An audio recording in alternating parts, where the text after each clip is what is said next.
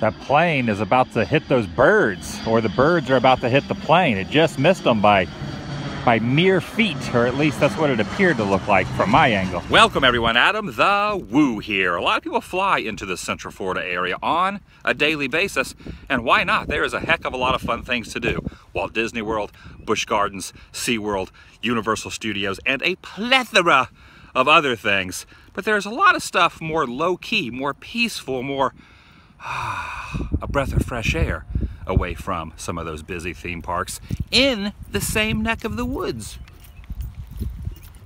That's good. It's my second channel, daily vlog channel. It's the Daily Woo. Today, I want to check out Pioneer Village at Shingle Creek, located at 2491 Babb Road. And just to give you a little perspective of what else is on the property here, down this road where you see the sign that says dead end off there in the distance, a lot of local legends say that road and those woods are haunted. And it was not far from that very spot where I made the announcement years ago that I had been trespassed from Walt Disney World, which has of course now been lifted. I've talked about that in the past. But those two key points aside, I have never ever wandered the rest of this premises. I gotta check this out, Doc. In the early 1900s, the Babb family settled along Shingle Creek on this property. Once roads and bridges were established, the names and locations faded into history, but were at time essential to the creation of the communities of Shingle Creek and Kissimmee. It is a recreation of the period from 1880 to 1916, and this photo is of Narcoossee, Florida, which is where I was yesterday for that reenactment, and that's the old Main Street, very similar to what they have recreated here. I would have never known that if it wasn't for that young lad right there holding the sign. Thanks, buddy. I stand corrected. This homestead is an original house. This church, of course, is not. It's being built from scratch. But this little cabin, that was also transported all the way from the other side of Osceola County. There was an entire family reared inside that building. The homestead of James C. Tyson. And even though that is the correct terminology when you raise a family and kids, I can see why we don't really use that wording much anymore. After a long day on the farm, I bet it was nice to sit on the porch and enjoy the breeze. One day I'll have a porch and some rocking chairs just like this. One day. Very humble accommodations, to say the least. By today's standards, this would be an efficiency apartment. The only difference being an entire family lived in this one, well, one and a half room place. You see the washboard in the tub there and an ironing board. Do people still iron their clothes? And the reason I'm not walking over there, there's this line here that says, please do not cross. You can't go past there. Another interesting observation I just had, when we think of an old-timey church, we think of the one that they are creating right here. But look at this. First Christian Church circa 1883, the First Baptist Church. Look at that. It's just made out of it made out of foliage. Which pretty much drives the point home. A church is not a building, and a home is not a house. It's the contents thereof, not the facade. And I guess around that time frame, that sort of construction material was commonly used, especially by the Seminole Indians, according to this sign. There was a song, I can't remember who sang it, about the Floridian Seminole Indians.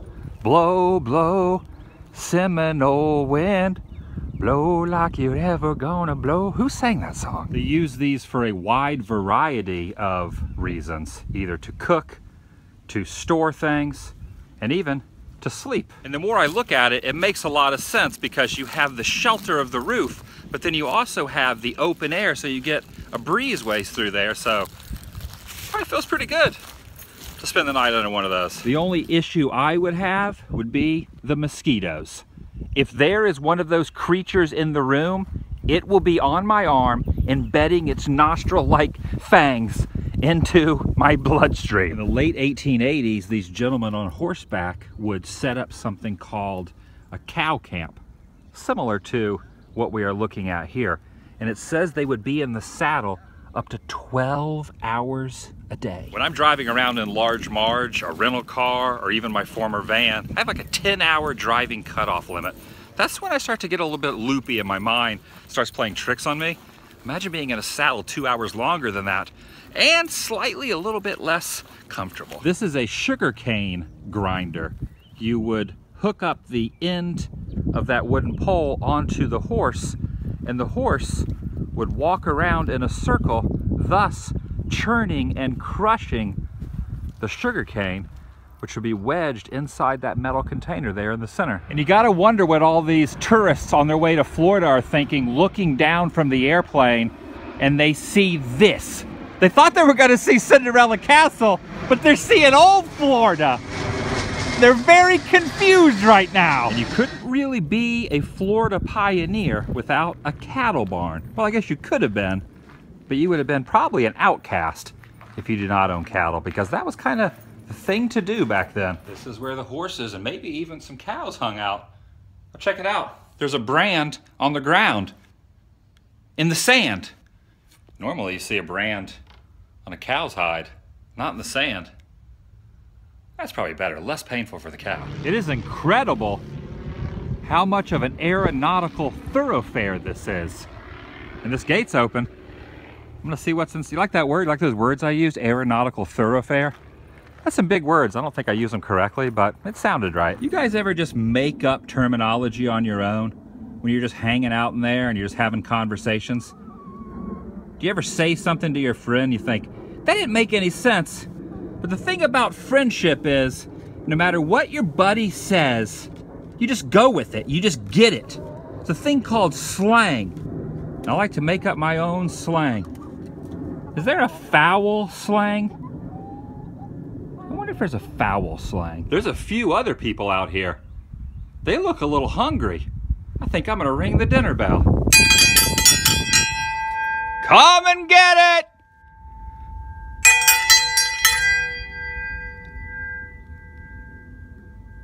They're not paying it. Nobody even looked over here. That was a complete fail. There are quite a few of these signs saying, please do not cross.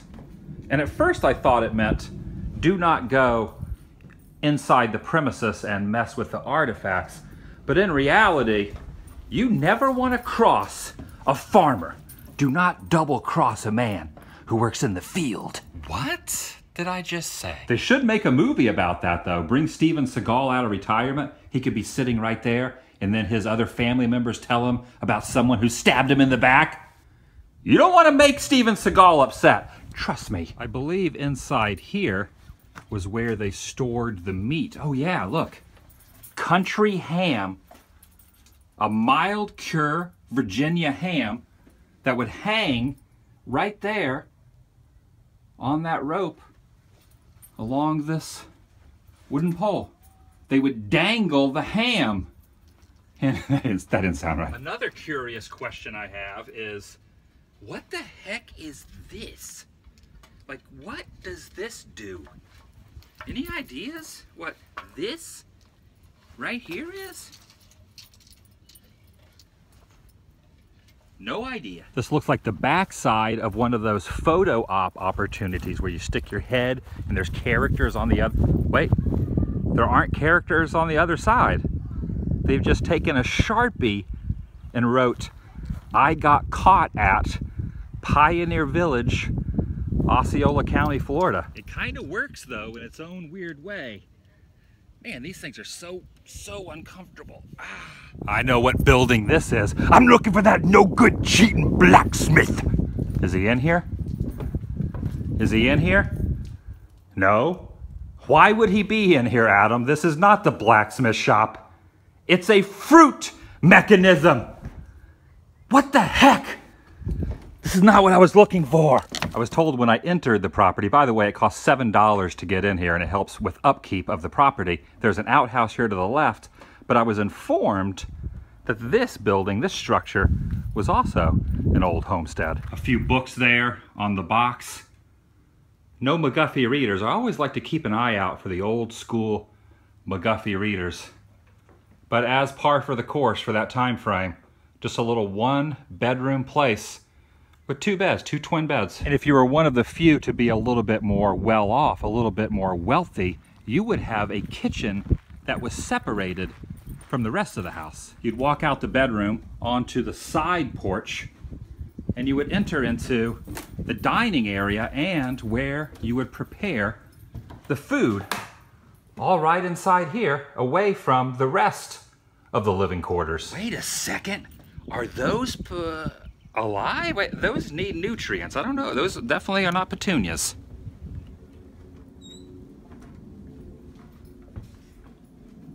Oh, this is nice in here. A little living room slash office area. Fancy. I really love the wood flooring as well. And I don't think it's part of the theming for that era, but there's a fire hydrant right there in the mirror. But it's good to have though, especially with all this, all this wood. The schoolhouse is not original, it is a recreation, but a fantastic job for sure. This is awesome. But once again, don't see any McGuffey readers. Did you hear the echo in there? Kind of spooky. If you would have been hanging around the Village Depot like this back in the late 1800s, you would have seen some beautiful women dressed like that. I really like that era of clothing. I think that's why I like Dapper Day so much. Everyone dressed to the nines in their Sunday best, even if it's not on Sunday. You'd have your suitcases ready to board the train, or they would ship citrus out of here, or in this case, fish. They would ship trout on a train? Well, I guess they would. I never never thought about that though. And what have we here? Now I have found it. I'm looking for that no good cheating blacksmith. that never gets old. Or maybe it does. I've gotten quite adept to shoeing horses and fixing wagons. What about you, lizard? Have you seen him? Have you seen him? I'm looking for that no good cheating blacksmith. I haven't seen him, huh? He's nowhere to be found. He's nowhere to be found. I'll find him.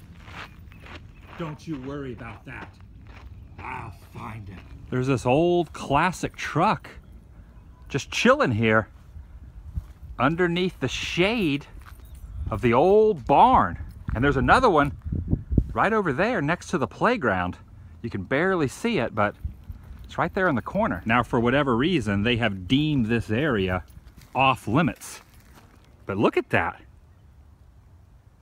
That's a relic. When I first got here, I showed the address was located on Babb Road. That's because it was named after the Babb family, and it sits on the old orange grove circa 1920, where they had their trees. Orange groves for miles. Lots of vitamin C, which is well needed for the children because when they got out of school, they didn't sit around playing video games.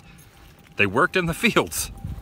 Crazy, huh? And I don't know for certain if this was one of their crops because I do not know what the heck type of plant this is. Can you eat these?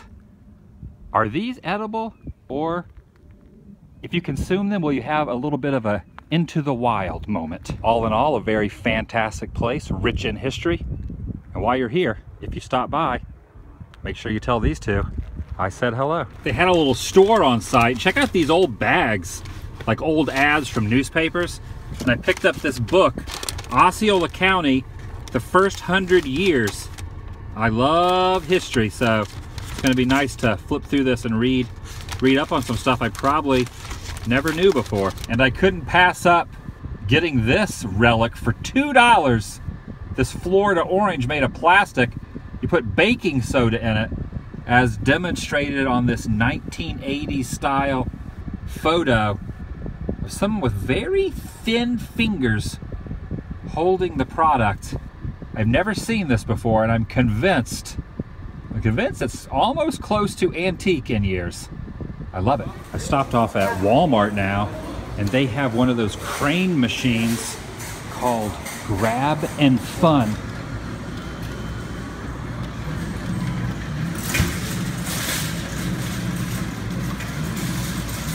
Think I'm gonna go for this green guy right here. I think that works. Get him, get him, yes, yes. No! Whap, whap, whap, whap. For anyone who does anything creative, in my case, YouTube videos, maybe you do vlogs or you do semi-regular videos on this platform of YouTube, you know that there is a percentage, usually a very small percentage of people who are overly boisterous and overly vocal about being negative. If you do something, they overanalyze it and they look at the negative aspect versus the positive. And that's human nature for a lot of people. We're all guilty of it. I'm guilty of it, you're guilty of it, they are guilty of it. Some people have a better filter than others, and some people just let the, their emotions fly on the keyboard. And that's to be expected with the internet. And sometimes that can be a little bit discouraging. Not completely overwhelming discouraging, but sometimes it gets to you a little bit. And I want to share with you an example. Today, I was having lunch with a friend and we were talking about how the more popular and the more views your YouTube channel gets, you're always going to have a certain demographic, a certain percentage of those watching who are not going to like certain videos, certain content, especially in my situation when I try to mix up the content and always do something a little bit different. Everything from graveyards to historical stuff to sometimes tragic events to theme parks, the other opposite of the spectrum, the happiest places on earth. I do a whole mishmash of content and not everyone's going to like one type of content as much as they like another. So I was having lunch with my friend, lunch, early dinner today, and we were talking about that. And as I was talking about how sometimes it can bother you a little bit because for me, I try to make everyone happy. I want everyone who comes in contact with what I am presenting out here on the internet to enjoy it, to go away with a smile. And when that does not always happen, sometimes it, it it makes me frown inside. And as I was telling him this, a little girl, a very young girl, walked up to our table, tapped me on the arm, and said, I really like your videos. And I needed to hear that at that point. It was the right exact second, the exact minute in that conversation, in that frame of topic we were discussing it was the right time for her to walk up. And uh, after she introduced herself, and I introduced myself back to her, her family came over and said how much they liked the content that I am putting out there. So do not ever get discouraged by anyone who is negative or is trying to put you down, someone that is not doing what you are doing and does not share your opinion. It does not necessarily mean that they are wrong and you are right or vice versa. It's just a different of opinion. It's what makes this whole wonderful world go around. Little tip, a little insight from me to you it was on my mind and I wanted to share that with you. Have a great day. I'll see you guys tomorrow. The vlog is over.